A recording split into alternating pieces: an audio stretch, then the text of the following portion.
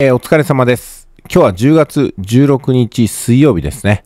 朝6時の相場解説になります。えー今日はね、長期で見ると、冷やしとかで見ると、上昇は止まっていないかなと思います。で、短期で見るとね、これは横ばいなんじゃないかなと思います。まこの動きっていうのは、トライアングル、つまりペナントの特徴なんですよ。ですんで今日はペナントを意識しながらいずれ上に抜けていく。まあこんなストーリーが描けるんじゃないかなと思います。まずは冷やしですけどもご覧のように上昇に向かってここも上昇のチャンネルを表してますよね。で、こうやってね、こちらのようにローソク足1本が強い上昇を示すこともありますけども、おおむねは上下を繰り返して一定の方向性を保っていくっていうのがよくあるパターンなんですよ。だからチャンネルラインを意識することが大事。あとは、こういった力点をね、超えたかどうかってことです。一応もうここは超えましたね。ですんで、ここから150円に向かっていくだろうなっていうふうなのは今週の見通しです。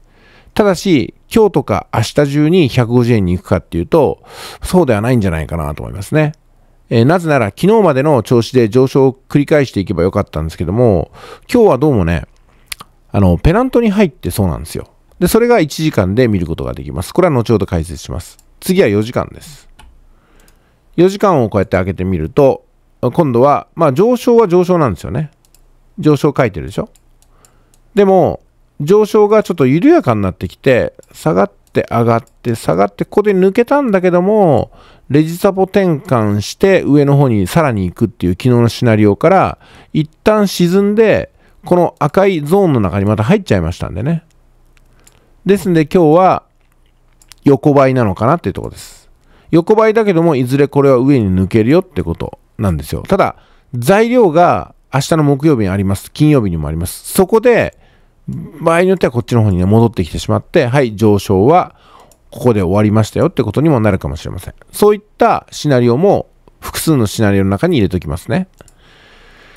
で、直近のシナリオですけども、昨日もお話した通り、上昇の流れが収まって下に行って、149円を一旦割る形になりました。そこからまた半値を戻してきて、さらにってことですんで、ほら、ペナントができるでしょ？この辺りまではペナントでも何でもなかったんですよ。単なるこの上昇の波だったわけですよ。で、このネックラインを越えて上に行きましたから、下がったとしてもこれがね、またこのネックラインを越えて上に行くかなと思ったら、上に行かなかったんですね。で、ここで上に行くかと思ったら、ここでも行かなかったんですよ。で、ここでも行かなかったわけですから、ここでもっていうのは、ここね、ここでも行かなかったわけです。下に曲がったわけですから、これはペナントに見えるよねってことですよ。あとはこれを上にブレイクして150円台に乗るような木曜日、金曜日を思い描いてるってとこです。まあ、ですんで今日も倍で勝負することになると思います。ダダダーっと消しますよ。だってこうやってね、ペナントができてるわけですから、今下がって下がりきったとこで今度上昇に向かうわけでしょ。で、今度の上昇の幅はちっちゃいですから。一番ちっちゃいですよ。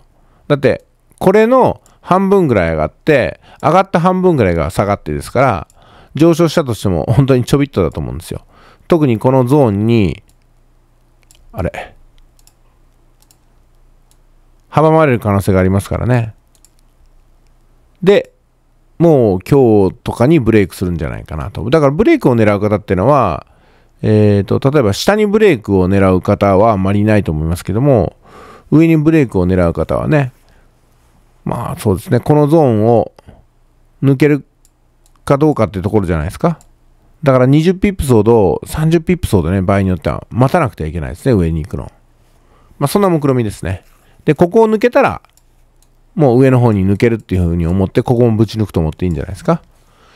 はい、今日はそれで見ていきましょう。また後ほど追加で相場解説をお送りします。